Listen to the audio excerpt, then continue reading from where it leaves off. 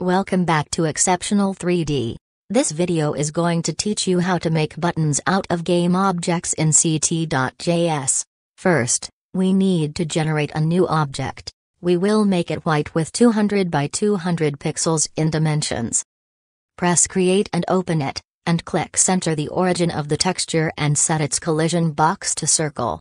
Right click and turn it into a template. Now we need to create a new room. I then add the template to it. And now for some basic coding. Click the template and we need to use a specific event.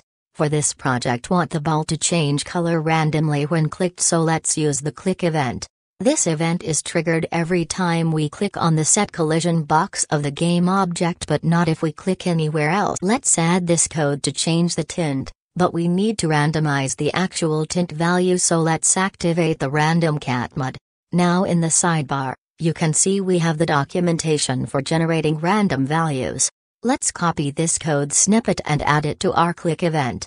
For the number range that can be generated, we will add the color value for white and black, meaning that the script may choose any color that's possible because black and white are on polar opposite sides of the color spectrum.